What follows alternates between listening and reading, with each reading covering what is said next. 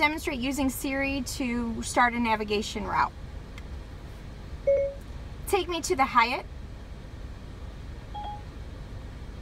Getting directions to Hyatt Regency Westlake. Great, so Siri listened to my command. She brought up the navigation route.